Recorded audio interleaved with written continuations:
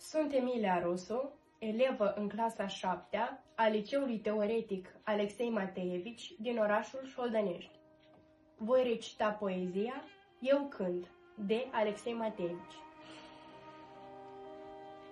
Eu cânt pe cei ce jug și chin, pe lor spinare țara țin, care robie și necaz, voinici, puternici au rămas vânjoși, înalți, ca fierul tari, de soare ași, bătuți de vânt, prăzdează harnicii plugari, al țării lor mănos pământ.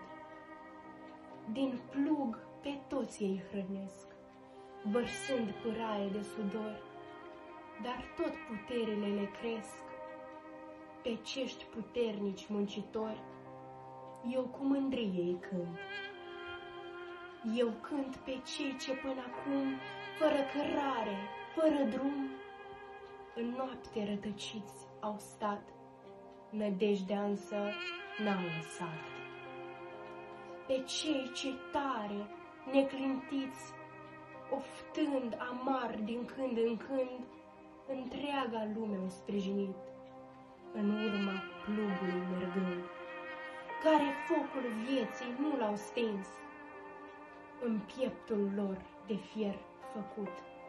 Și cât de mult n-am plâns, tot alte zile au prevăzut.